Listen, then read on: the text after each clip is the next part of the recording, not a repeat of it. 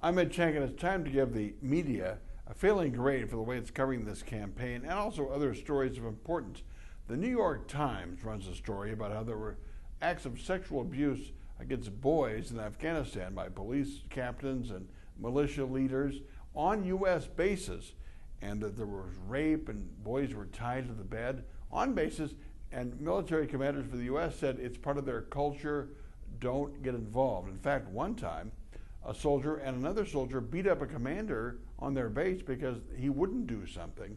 Well, that lead instigator in the uh, incident was released from the military. The New York Times is now running stories, and you've got people saying, look, it bothered me. Uh, they're doing things worse than the Taliban would have done, and here we are protecting them and training them to kill the Taliban.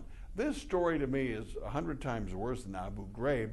The abuse of inmates during the Iraq War a prison where people were naked and being made to sit in pyramids and all kinds of degrading photos, because at least you're dealing with adults at that point. This is where you're dealing with children, sexual abuse against boys. And we're watching it and doing nothing, saying it's part of their culture. I'll tell you what, at that point with Abu Ghraib, there were hearings right away.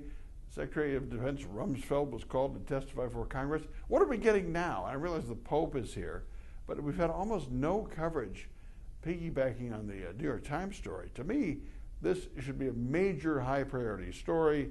The press should stop, we should have hearings and deal with this. President should speak about it. It's totally unacceptable. In terms of Trump and having people asking him embarrassing questions, we know about those questions because we're covering Trump live.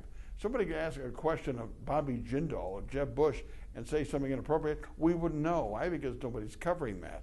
So part of the reason is that we're covering Trump. That's why we know about things that happen involving Trump's cuckoo crowds at times.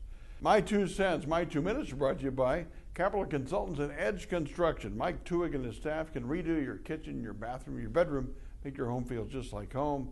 We can argue about this and other topics on the radio tomorrow morning on 92.1 FM The Mic, The Mitch Henck Show.